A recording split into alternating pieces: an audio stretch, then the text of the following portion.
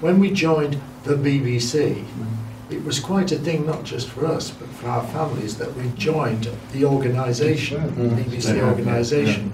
A lot of people saw it as a job. They're not here. The people who saw it as as as a passion are here. Well, your whole family essentially joined the BBC when you joined. Well, that's very true. And your family and, uh, and everybody relied on strong people at home because you were away so much. Yes. Especially weekends. In those days, we joined and we joined people who had more knowledge than us but were very keen and able to pass that on to us. Yeah. And for that, we all, Absolutely. we all uh, are very thankful. To carry on their knowledge. Absolutely. Yeah. Willingly given. Willingly yeah, given, yeah, yeah. yeah. Well, it's It interesting sharing- they call it service, don't they? Mm. I mean, and it, it, it's weird really that they call it. It was like joining an army or something. It, really, well, wasn't actually, it? certainly joined a OBs, it service. was like, uh, I, I likened it, when people ask me, it was like being in the services. Hmm. Yes. Because you were on a crew, you Yeah. saw more of the crew than you saw of your families. That's right. Literally, Yeah. I was on one crew for 10 years.